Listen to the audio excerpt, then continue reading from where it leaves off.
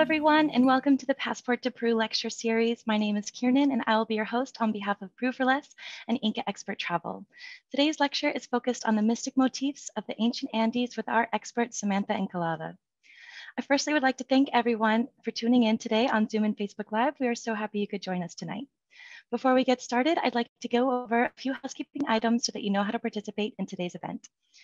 Ms. Encalada will be answering some questions from the audience after her lecture, and please feel free to submit questions for her at any time during the presentation. For those joining on Zoom, just enter your questions into the Zoom Q&A feature at the bottom of the Zoom browser. For those on Facebook, just leave your questions in the comment section of the live stream. We are so pleased to welcome Samantha Encalada, the Director of Institutional Relations at the Larco Museum. Today, Samantha will showcase the intimate bond that existed between pre-Columbian societies and the natural world. She will explore this relationship through the motifs they left behind, weaving 5,000 years of history and artifacts from the museum's collection into a beautiful story. With a background in archaeology, Samantha found a passion for tourism and now works to bridge the two sectors. Hi, Samantha. Thank you so much for joining us today. How are you doing?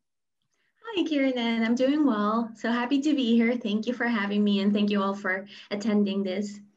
Yes, thank you so much for joining. We're so happy that you could be here. And before we get started, I was hoping that you could tell our audience what your favorite part about working for the Larco Museum is. Oh, wow. You've seen it. You've been on a tour with me. So you know that the grounds are just amazing to begin with. So it's always nice to go to work on, on a place as beautiful as that. It just gives you a nice breather from let's say chaos of Lima. Definitely. and, you know, yeah, it's it's and it's also magical, you know, to be able to see all of the people who go there and really are able to see and understand what where we're coming from, how you're able to see the story of ancient Peru in such a lovely way that it really gives them the excitement that they need to go forward with their travels to Peru. So it's always beautiful to see that. I completely agree. The Museo Larco is one of my favorite places in Lima and something I recommend everyone to check out whenever they come here, especially, it's especially the, a great way to start your trip as well. Well, um, before I pass the mic over to you, I do want to remind everyone that they can submit your questions into um, either the Facebook live stream comment section or the Zoom Q&A at any time during the presentation, and we'll have about 15 minutes to answer some questions after the lecture. Well, thanks again, everyone, and off to you, Sam. Thank you. So now I'm going to show you, well, as Kieran mentioned, uh, just wanted to introduce myself again. My name is Samantha Encalada. I am the head of institutional affairs at Museo Larco. It's a pre-Columbian museum um, in Lima, Peru.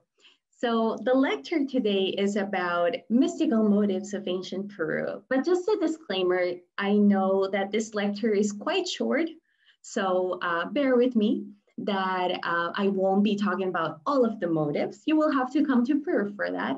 But I did want to show you a little bit of the work that we do at the museum of really communicating what is important for us that you are able to see while you come to Peru, the story of ancient Peru we always say that we're like a gateway to ancient Peru. So it's always nice to think about it that way.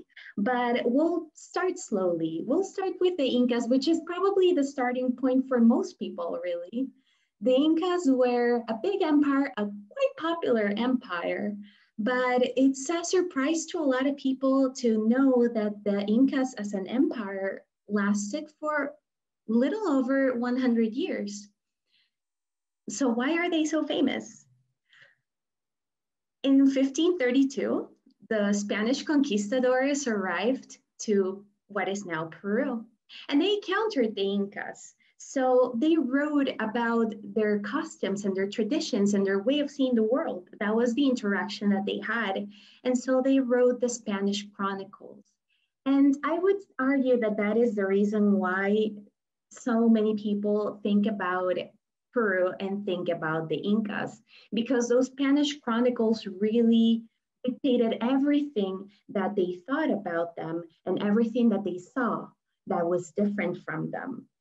And these lasted for so long because they were written here by Spanish people and they, they went to Europe, to Spain, and then Europe, and then the rest of the world. And so, for so many hundred years, because archaeology did not exist right then. So for so many hundred years, let's say 16th century, 17th century, 18th century, we thought about Peru as the Incas. Everything that existed before the Spanish were the Incas. And so it wasn't really until the 20th century when archaeology began in Peru and so many pioneers of Peruvian archaeology started discovering way more than meets the eye. Now, I like this picture and I wanted to show you it because uh, the, the person in the middle is actually Rafael Larco Hoyle, that is the founder of, the, of Museo de Larco.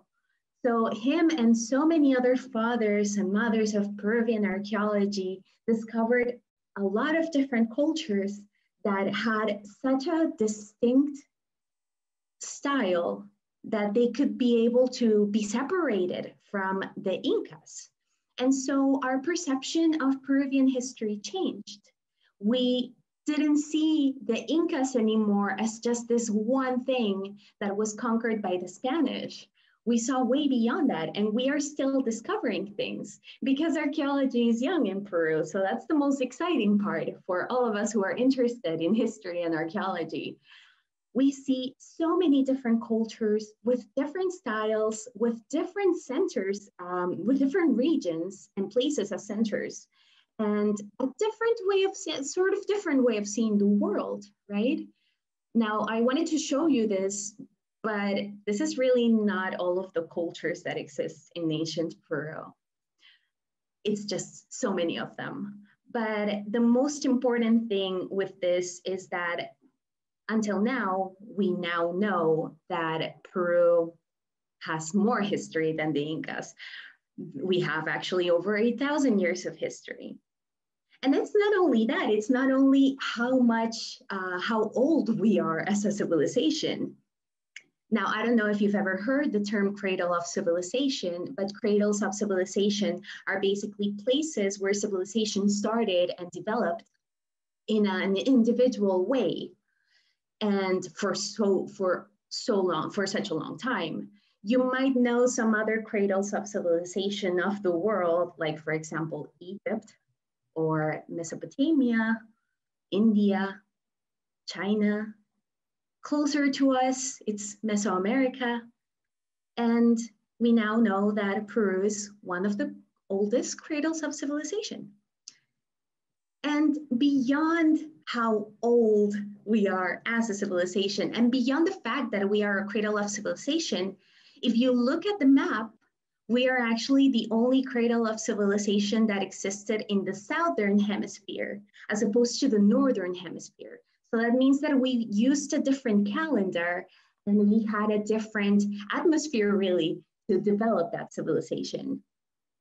And Peru as a country has the pride. We, we always take pride of being so diverse. The, the biodiversity here is unbelievable. We have 84 of the 117 life zones in the world. We are cut by the Andes. We have a rainforest. We have a very dry coast that is also fertile because of the rivers that come in. And we have a very rich um, ocean.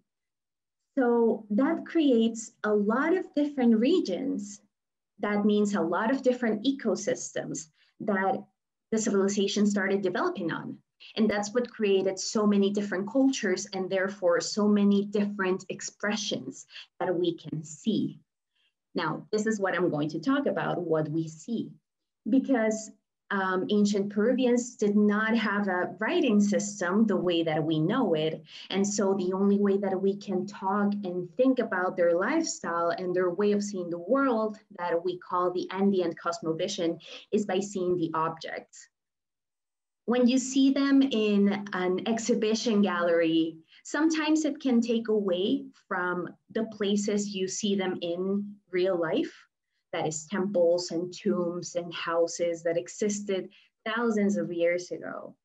So we are very careful at Museo de Larco to try and help you guide, um, help guide you through a more personal way of seeing these people. These were people that lived in, in an older time than us, and they had a different way of seeing the world.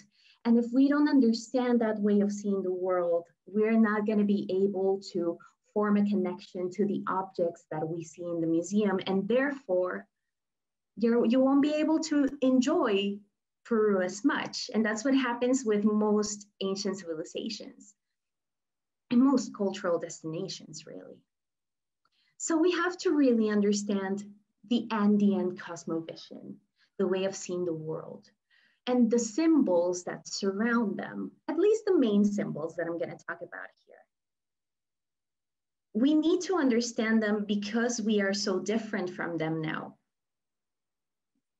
This is where we live in.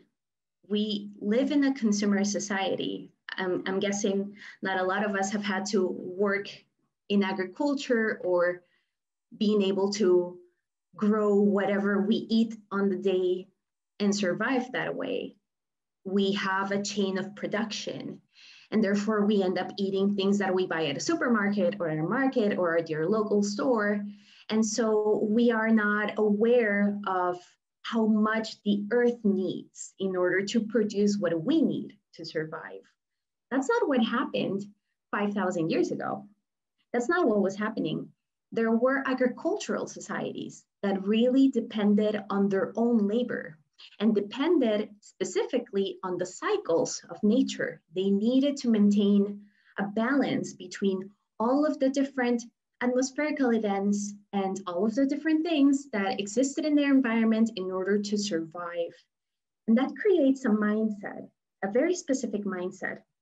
So the main thing that is um, similar between all of these cultures is their perception of the world itself.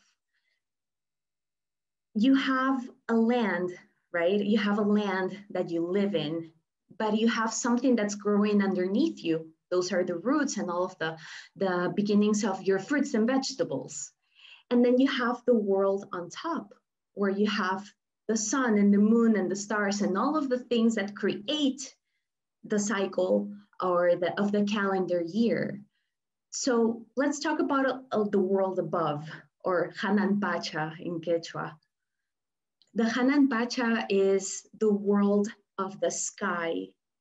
In simple terms, is where all of these things are that you can you that you can see, but you cannot reach. And so it makes sense that in so many societies, including ours, we would think of these objects or as, uh, as gods. Or there would be people there or gods there that would move these objects forward. If you know what I mean, in different civilizations, you always have that, uh, you, you, you have that uh, phenomenon. You have the sun god or you have a god that moves the sun, right? So it's not this, it's the same here. You have the world above. And of course, if you try to make a symbol out of it, you're going to end up discovering animals because animals are quite simple to really depict and it's easy to create and uh, to make up an animal that will symbolize that world above. Of course, I'm talking about birds. Now, the birds are going to be able to change because we are talking in very general terms. And again, we are very biodiverse. So we're going to have different kinds of birds symbolize different kinds of regions and different kinds of cultures. But their ability to fly and to reach the places where we cannot make them perfect to symbolize the world above. And then we have the complete opposite, and that's going to be important later on. But the complete opposite is not where we are, it's actually what's underneath us. That's the world below the Ukupacha. So the world below is so important because it's so full of life and it's the beginning of life and death, really. If you think about the earth, you think about how in an agricultural societies, you put a seed in and you will watch something grow out of the earth. There's such a great possibility of things growing inside of that earth. It's almost like a womb. It's also, and, and this, the comparison doesn't really stop there. It's wet and it's dark and it's warm. It's it's a womb. So you put you put a seed and you'll watch it grow. And oddly enough, we put all of our dead people there. So if you put something there, won't you watch it grow too? And that's the idea that we have of ancestors. These people that we ended up um, burying inside and become alive. They live in the Ucupacha. So what you see here is a vessel filled with ancestors that are living in the Ucupacha. The, circle, the cycle of life kind of continues there.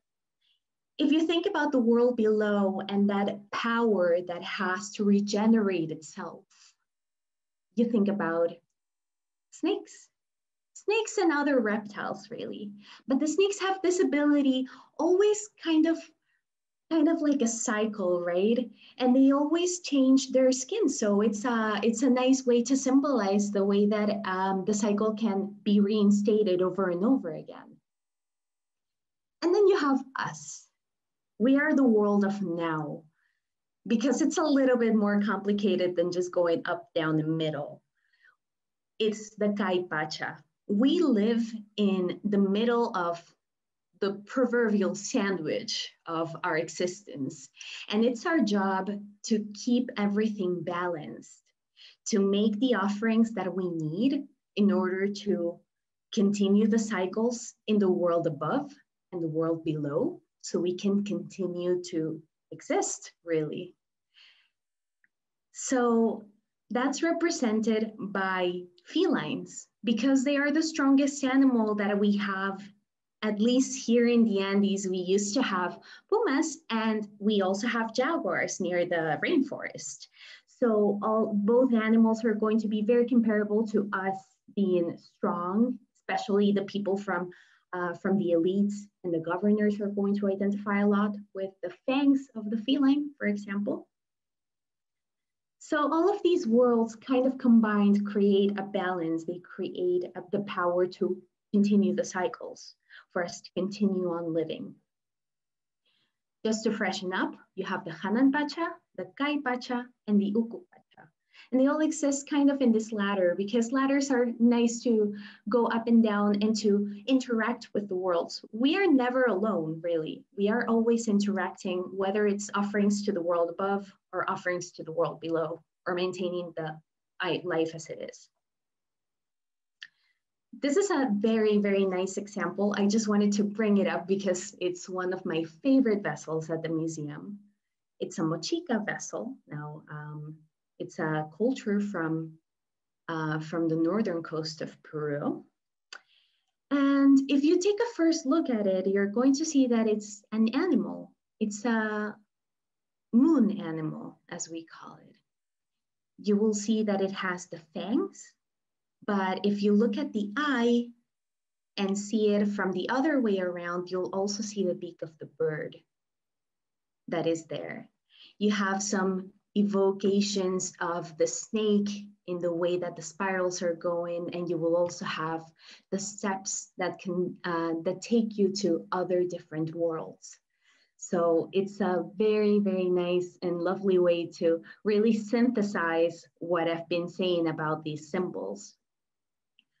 Now, there's another thing that I did not mention, but it's the most simple thing, really, of what we need to understand about how these um, societies connected with their nature, and that's duality. Duality is a simple concept because it requires just thinking about the balance of things. If you know about the yin and the yang, you definitely know about the duality how everything has its opposite that is also complementary. That happens in nature, that happens within us, that happens in our relationships too, because you have to be, uh, you have to reciprocate things. So you will constantly be seeing dualities, not just in the philosophical concept kind of way, very abstract, but you will see them the way that you see this vessel. You will see complete opposites that melt together in one object. This is a more powerful object even because this, um, this object is specifically made of gold and silver. Now, gold and silver are really beautiful as materials, but they're also very powerful because they evoke the shine of the sun and the moon also oppos opposites. And not only opposites, but they live in that world above, right? So they represent a very nice meld together of that duality concept. And you will see it in a lot of different objects too. Other kind of metal work will include ornaments and um, and different kinds of symbols, the symbols that we already saw, whether it's the spiral of the cycle of life that I showed you even without mentioning it, the animals that melt together with human faces, um, in masks, in ornaments, in jewelry. And of course, we have things like this that not only evoke to the symbolism of the gold itself, but we have the aesthetic of having such a powerful, beautiful object in front of us. Every object that we have has more than meets the eye. So even if you look at an object like this, or if you go to Machu Picchu, that is the peak point of every single trip to Peru.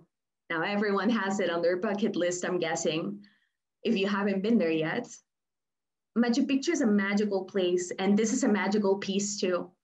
And if you see them as they really are, and you see the backstory that is behind it, the motives and the story and the way of life that got us there, then we will be able to really enjoy more um, the way that we are introduced to the to Peru. When you see an object in a museum, you will see just maybe one and you will interact with it and you will form a connection with it. But if you think about the thousands of years and the thousands of, of objects and archaeological sites and places that haven't even been discovered yet, you will understand that it takes more than a trip to Peru to really understand ancient Peru. So we invite you, I invite you personally to Museo del and I invite you to visit Peru. I invite you to take in the beauty, the, the beauty of ancient Peru in a nice setting too, and to understand that it doesn't take a history lesson to enjoy ancient Peru and that history lessons don't have to be boring. Because it's really just it's it's not a history it's a story. It's the story of us and not us as peruvians but as a civilization and as humankind which is beautiful to see so hopefully i was able to show you a little bit about the symbols of ancient peru and how you will be able to use them and to see them when you come to peru Thank you so much for listening and thank you so much for being here.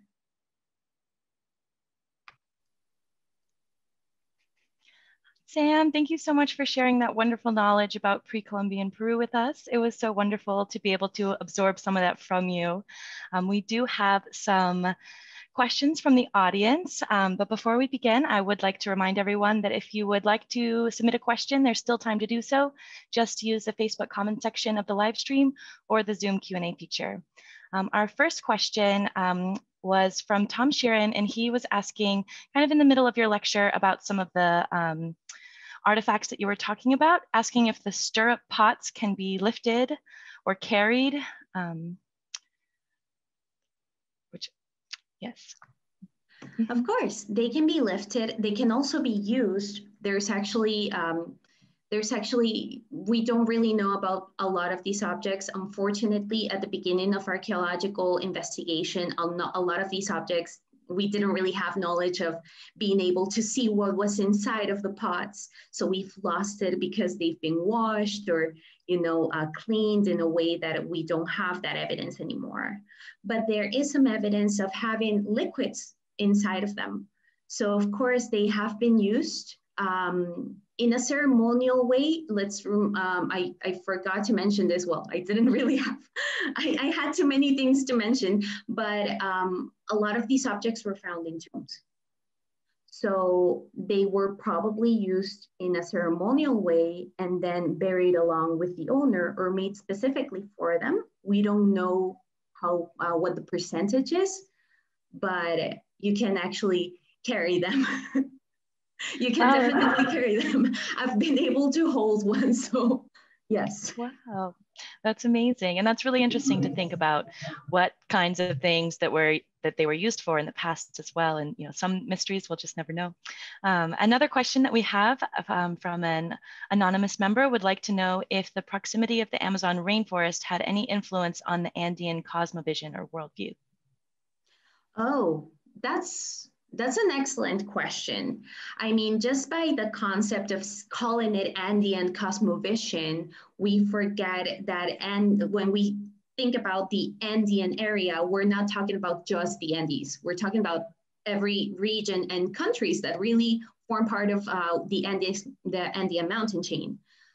The rainforest, of course, had influence. They had their own ecosystem, but the way of having that connection to nature and using animals that existed near them really did influence it. And even on the material level, there are some cultures that really recognize the, um, I mean, the I mean, just the, let's say just the beauty, but really the, the symbolism behind having um, different colored birds, for example. Um, we have a beautiful, beautiful textile that it's made out of, um, that it's made out of feathers that are blue and yellow, you know, that only exists in the rainforest. So there was a constant interaction. I mean, jaguars were the equivalent of the pumas there. So, um, so for sure, there was a connection. We don't know what came first, like the proverbial egg, right? Um, but, um, but yeah, definitely. Wonderful. That's really interesting. Another question we have is um, so, uh, Lisa would like to know what are most of these objects made out of clay, wooden, or, or some other kind of material? Um, I know that metal was also used. Most of that's that's a very general question. Now, it really depends on the culture. At the museum, we usually have mostly pottery, but you have to understand that that's also because that's the that's a material that will that will stick through time better. Um, we know that there were a lot of textiles being made um, that were lost because we have, especially in the coast, we have the El Nino phenomenon, and that brings up a lot of floods and therefore water that seeps into the earth and of course destroys organic materials. And we also had some jewelry that, as we know, maybe could have left our country, you know. So, um, and, and wood, of course, it's also an organic material that will that will deteriorate a lot faster. So mostly pottery, but let's say that the percentage of the other materials are more than what we would see in a museum. Great, thank you so much. Yeah, that's a really good point you make about our organic materials and environmental factors that allow for some artifacts to be preserved for longer than others. Another question we have is, uh, Michael would like to know, what is the most interesting, lesser known archeological site that you have been to? No. I'm going to break some hearts with this one. Now, I haven't been able to visit a lot of archaeological sites. Um, I mean, not, not open archaeological sites, definitely just the touristic ones. Um, there's one that I always go back to that is in Lima. Um, that, I mean, well, no, actually, let me change my, my answer. I just, I just thought about another one. It's called Huaycan. It's called Huaycan, and it's off of the um, of the central um, central highway in Lima, and it's such a huge complex. I mean, if you've been to Pachacamac, that is the most known complex in Lima. You you go to Huaycan and you go like, why isn't this popular enough that people will see it all the time? Now there are some neighbors uh, of uh, Huaycan that are making it popular, that are making it renowned, that are taking care of the Huaca. Unfortunately, there, there's always going to be a lack of resources that are sent to all of the diversity because one of the main problems of having so much history is that you won't have enough resources to protect them all. So there are initiatives and I, I'm really looking forward what they do with Huaycan Cultural. Uh, that is the organization that, that is protecting the Huaycan a complex. So uh, I'm excited about that. I just wanted to drop a cherry on them because they're they're excellent. Oh, that's great. I've actually seen Huaycan myself. I went a few years ago and I found it a really interesting site as well. I believe it was used as like a, an Incan kind of administration site um, partially. And it has a lot of really interesting like symbolism in some of the architecture as well. And I, I, I hope that as well that it, that it continues to grow in popularity and in the places like that, because they're still being found. New places like that are still being found today. And so I hope that they continue to be protected as they should be. That's be. something so that, that, is really important to point out, you know. Again, mm -hmm. uh, Peruvian archaeology, as opposed to the other uh, cradles of civilization, is the, the youngest uh, with investigations. So you're constantly hearing about new discoveries on the news, which makes it more interesting for us, but it's also hard to keep up with all of it. Um, so it's always nice to have people coming back to Peru and seeing more and more things that were just discovered. Definitely, definitely. I completely agree. Um, Mike would like to know that he uh, he sees some interesting handles on the pottery, and he's wondering if the unique design um, means anything particular. Oh, that's a that's a long answer for for a question. Let's we put it this time. way. most of them, I mean, most of the objects that we have, well, not really most, but a lot of the objects that we have at the museum and most of the examples that you've seen in the presentation are um, from the coast. So we have two, two very specific styles in the in the coast, and they do have a symbolism to them I'm not gonna go over them because it is quite long and it is not, uh, it's, it's still not um, available by, by every archaeologist and investigator. So they all have their different opinions, but we'll, let's talk about vessels in general. Vessels are, I mean, and, and one of the most important things that we need to know about Andean cosmovision is that we need fluids right? Um, I mean, in nature, we have fluids that are constantly running and they are an important part of the development of, of the world and of life. And so to have that powerful symbolism of containing fluids or even just having the vessel that contains them is important. And so, of course, the handles that we have in those vessels will probably have a connection to them. One of the theories that, that we handle at the museum is that I really, really love. Now, I'm not sure if that's going to be the correct one because we would have to, you know, research it for 10 more years, um, is the, the act of having that duality as you put in the liquid. You have a handle that is capable of getting the fluid inside, but then the air coming out of the other side. So it's a duality of the elements um, I mean, that's just one of them. Uh, so again, it's a very long answer, but I wouldn't be surprised if at some point it became a big thing, um, a very specific meaning to the handles that were applied in the vessels. That's really fascinating. Yeah, I would be super curious to see what some of the other uh, theories are. And, you know, maybe in 10 years we'll have an answer. That's great. Um, Sandra says, uh, do people in Peru still use some of the old techniques to make this type of pottery or were they lost in time? She also says, thanks for the session. Very interesting. Oh, thank you. um, there are traditions that continue on. I mean, you can see it in any trip to Peru. They will show you the way that they did textiles. They will show you the way that they did pottery. Lost for 100%, they are not. Maybe they will be modernized a little bit. Maybe some of them will be just for uh, the fact that they are keeping on with some tradition. What will be lost though, it's most of its ceremonial uh, meaning, right? So, um, so the ceremonial meaning will have been um, uh, the, there, there's a there's a process right of when the Spanish people came over here and became it, it, became a syncretism that is basically the mesh of the religions that is the Andean cosmovision and the gods that they had with uh, Christianity um, and Catholicism eventually right?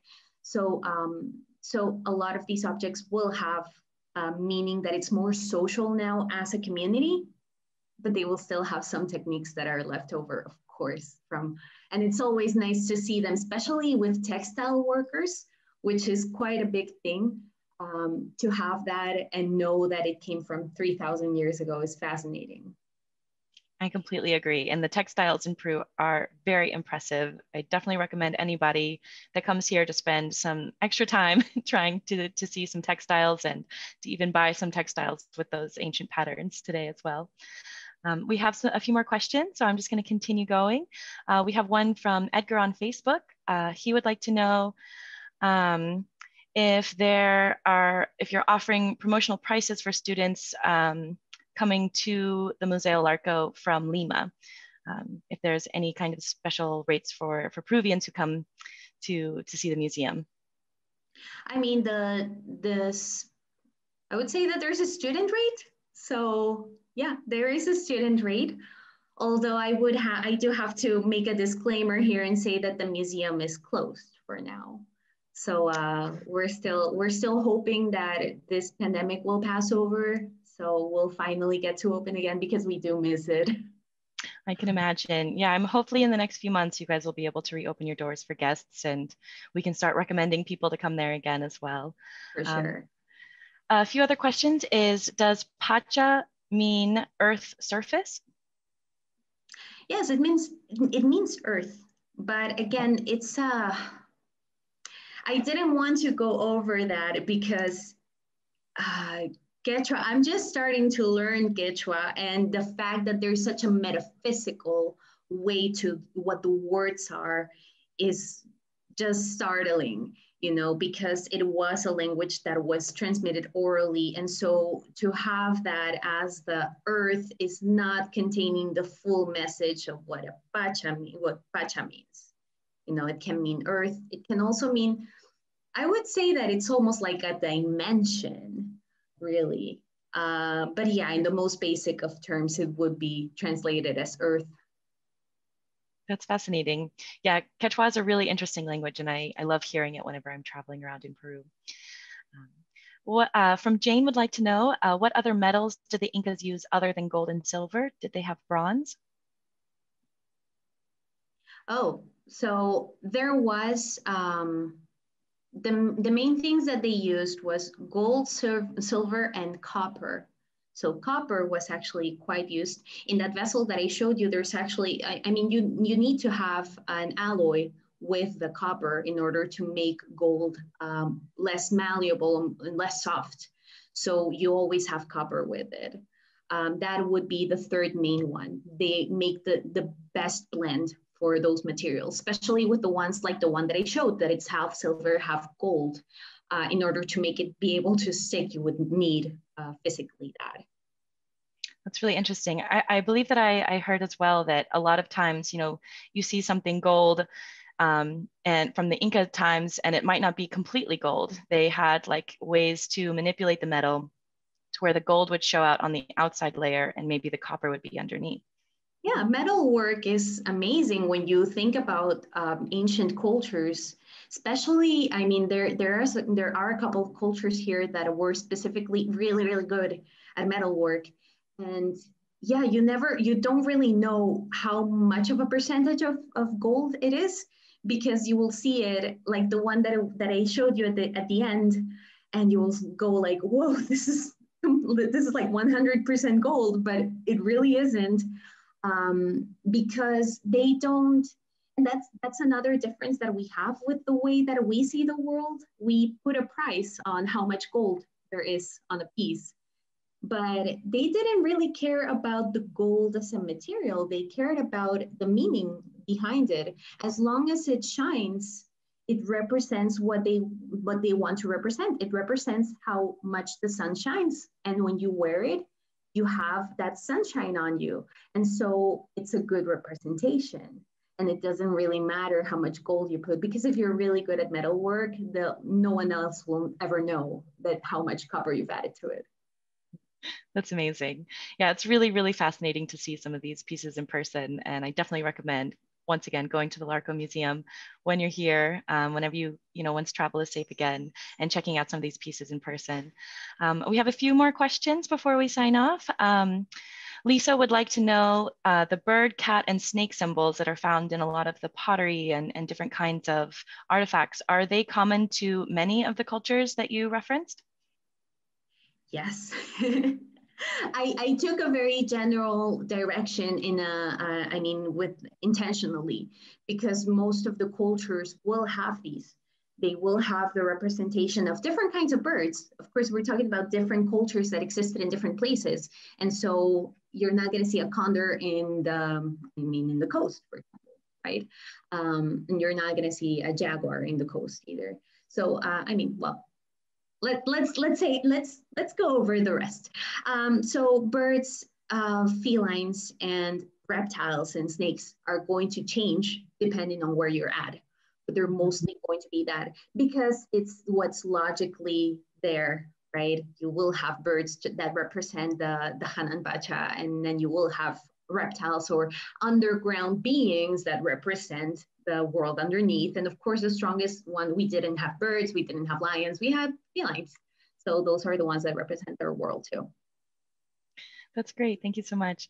Um, BB is curious about the expressions on the objects that appear mythological. Um, I know that some of them, yeah, kind of have kind of kind of godlike figures. I wonder if you'd like to speak about that for a moment.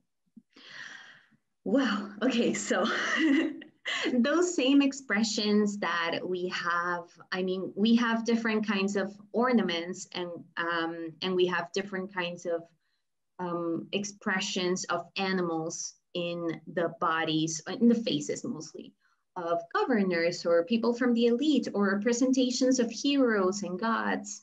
And so it's a very broad subject to cover, but uh, you will almost always have a specific symbolism of something that is over your world. You know, if you belong in the world now, I mean, we are in this world, right? In the in in the Kay Pacha, we live in the world now. But if we have some kind of symbol of the Hanan Pacha, like, like let's say a bird in our headdress, you know, we will be a little bit over that gap of we not only cover this world, but we cover both worlds. And so um, there are, I mean, just the symbols and the items that we see, they needed to have it as a way of communicating, you know, because that was their way that they would present to the world. There was no need to go over people and say, hey, I'm important. You know, you just tell it by the way that you dress. It's so it's the way that we do it now too. It's just that it's more subtle now, right? But then it was very important to keep that elite system and to keep that society. And so you have that representation physically that people are able to see. So it was very important to have it on the way that you dressed and on the way that you did things and then the things that you used or and how you were buried too. I don't know if that answered the question. I'm so sorry. No, that was great. Thank you so much. Yeah, uh, um, I think that answered it perfectly. Um, we just have just a few more. Um, so Lynn would like to know if we will be, or if you will be putting any of the items up for a virtual visit to LARCO while we are unable to visit. I believe you guys already have some. Mm -hmm. We do. so you can actually see it if you go into our website, uh, that it's museolarco.org. You can see um, the virtual tour through there. It's a 360 tour. You can see the permanent exhibition. You will see the storage, which I haven't shown much of, but the storage is quite impressive because it's all of the things that we don't have in the permanent exhibition.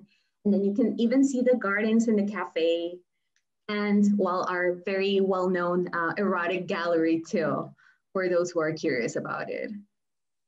I will leave the Museo Larco um, website in the chat for everyone really quickly in case you would like to, to look that more deeply. Um, so just a few more questions.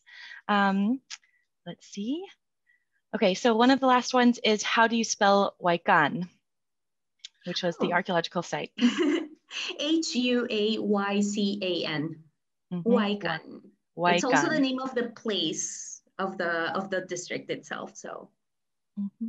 Perfect. Thank you so much. And our last question um, we'll try to keep this brief because it's kind of a big question, but just to get your, your ideas, Brennan would like to know what are your thoughts on how the crucible started in Peru? Of how what? Sorry? How the, the crucible and the, the arrival of the Spanish and the like the spreading of Christianity in, in Peru. How it happened. That's just an... what are your general thoughts? wow. I've never been asked that question. That's an interesting question. It's also it's also a very big one. Uh, my Definitely. particular thoughts on it. I mean, um, let's say this that as as someone who has had a passion for history and archaeology, for me, what's done is done you know? If you thought of if you think about my if, if, if someone wants to know about my thoughts of history it happened. That's the thing it happened. So it's our chance to study what were the um, what were the connections that were made what was the what were the things that were left behind and what we still have until now without knowing it and i think that's the most important thing of us because there's a there's no us without them if you know what I mean. So we are still an evolution and a product of that blending happening and that syncretism happening. And so our traditions are now a mix of everything that came afterwards.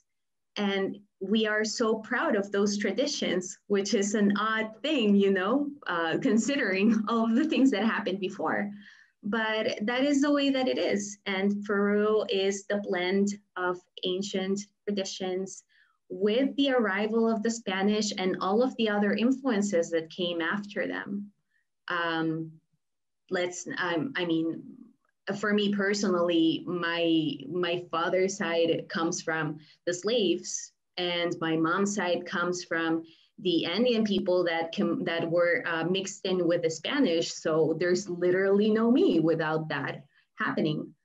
So I, I get that the, con- the conquista and all of these processes are just there for us to study and for us to see and for us to really understand that it happened and that we can continue on those processes and we can still see them until now.